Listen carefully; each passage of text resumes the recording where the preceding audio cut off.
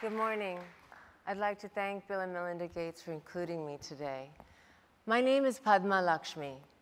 On the morning of my 13th birthday, I got my first period. And my sweet mother attempted to explain the sharp cramps I was feeling. It's just our lot in life, she told me, part of being a woman. I heard the echo of those words each month as the core of my body ached and pain seared through my pelvis and my back. I watched my friends in college take ibuprofen and just move on, while I stayed confined to my bed in fetal position with heating pads and painkillers for days at a time.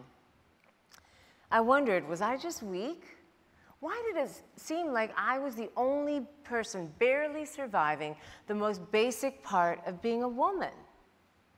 Year after year, I told my doctors about my pain. Some brushed it off, some thought I was exaggerating, but none suggested it may be a sign of something serious. And mind you, I always had health insurance, I always had access to medical care. But it wasn't until I was 36 that a new OBGYN would give me a name for the condition that had held me back so much of my life endometriosis. Instead of expelling uterine lining during my periods, as it's meant to, my body reabsorbs it, proliferating layers of tissue that choke my reproductive system like weeds growing in a garden. Endometriosis can damage organs, from ovaries to kidneys to bladders, and much more.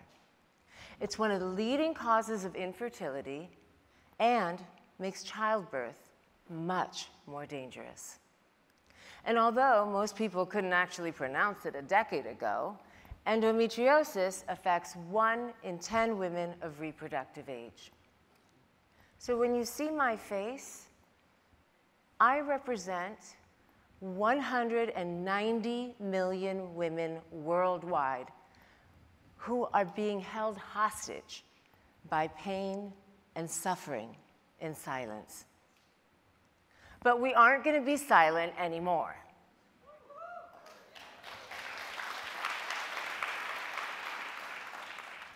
Pain is our body's way of telling us that something is wrong. But too often, women's pain is ignored, dismissed, or discounted.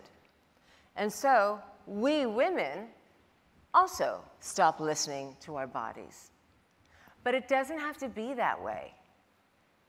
Women's pain is invisible because so often we are invisible to our doctors, to our researchers, and to our policymakers. For decades, medicine has equated human bodies with male bodies. Women are simply smaller versions of that default. It's what some call one size fits men approach. As a UN Development Program Goodwill Ambassador, I've seen how gender based bias, prejudice, and oppression can hold back women throughout the world. Misogyny affects every sector of our society. But in medicine, it can mean life or death. And throughout history, we've been routinely excluded from clinical trials. For example, did you know that even though nearly half of the population living with HIV worldwide are women? A recent clinical trial for a new drug excluded us almost entirely. Pregnant mothers are too often left out of new drug testing as well, even for diseases that harm fetuses. As a result of that research gap, we lack data on how conditions manifest differently in our bodies. Women's health is considered niche, relevant only to G OBGYNs. But you know, this isn't only about reproductive organs. Did you know that women have a higher risk for chronic kidney disease, arthritis, and depression? Or that we're more than twice as likely to die after a heart attack than men? You can see why we're more depressed. And we deserve so much better because it's wrong. For two decades, I missed job opportunities, social events, and time with my loved ones. My pain made me feel powerless, ashamed by what I saw as my own weakness.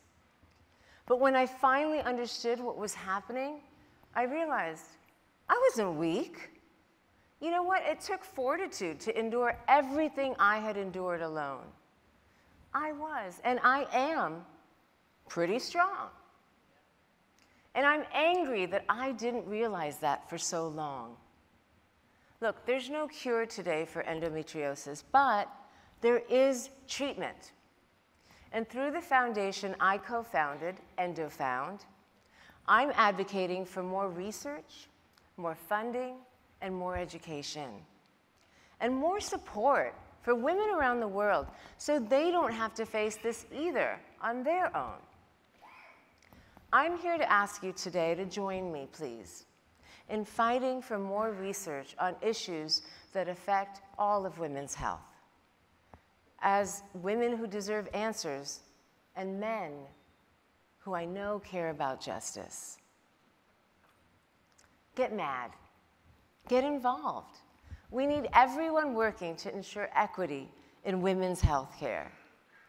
It's time for goalkeepers like all of you, like us, to demand research that reflects women.